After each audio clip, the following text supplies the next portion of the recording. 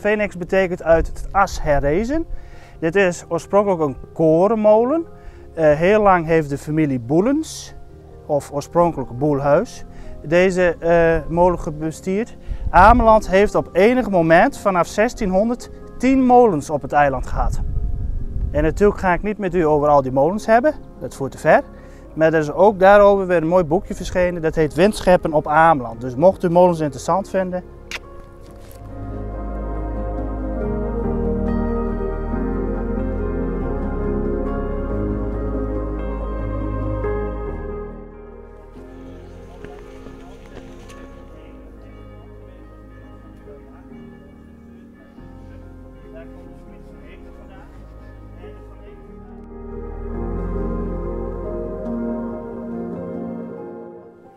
Kamminga van de Oranjes geweest.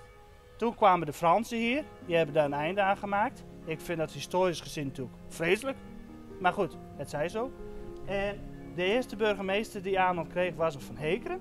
Die zijn zoon ook. En die zijn zoon ook. Dus we hebben drie generaties lang Van Hekeren gehad.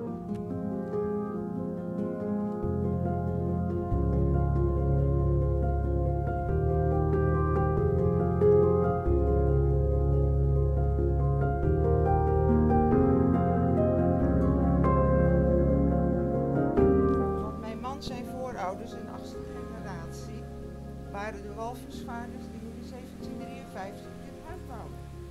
Maar dat is dan niet het huis wat u hier ziet, maar dit huis, geschilderd door Graham de Jong. Dit is een namaakpaneeltje